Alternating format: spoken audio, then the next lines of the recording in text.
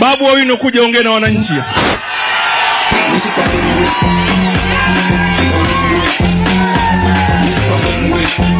Haya, sawa.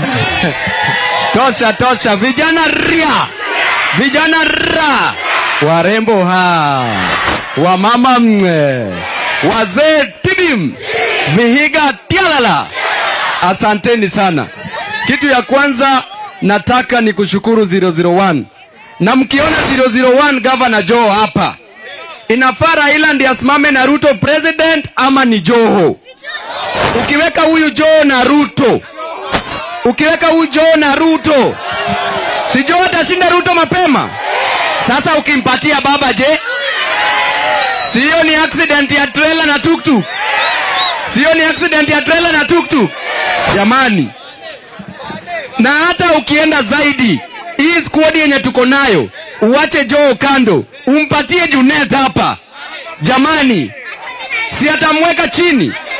Sasa Ruto anatuambia nini? Sasa azidi kuuza uwazimu, uwazimu ya wilbaro. Wilbaro inaharibu hata ndoa. Ukiendesha wilbaro sana, ukienda kwa nyumba, ukishika bibi, bibi atakuambia unamkanyaga ama unamshika, si mkono itakuwa ngumu zaidi. Vijana ria, vijana ra, vijana tibi, vijana tialala, wamama ha, warembo mwe, wazee tibim. La mwisho, juzi alikuwa Kakamega Kwisero, watu wakamwambia Azimio, akaenda Busia, watu wakamwambia Azimio, akaenda Trans Nzoia, watu wakamwambia na hapa Vihiga akikuja watu watamwambia watu watamwambia.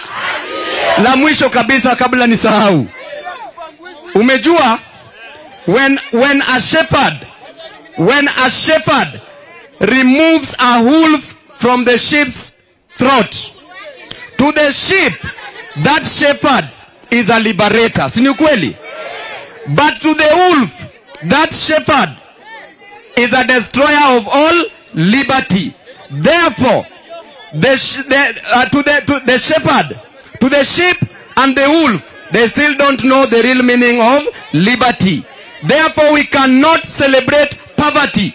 We will never celebrate poverty in the name of hustler, and we must never celebrate poverty. We will fight poverty. Sasa ukitembea usijiite hustler, juu hata Biblia inasema chenye mdomo inasema ndio utakuwa, si ni kweli? Asanteni sana. Wacha nichukue hii nafasi niite mheshimiwa kutoka Mount Kenya ambaye ametusaidia kupanda milima, ambaye ako hapa, bwana Kanini Kega.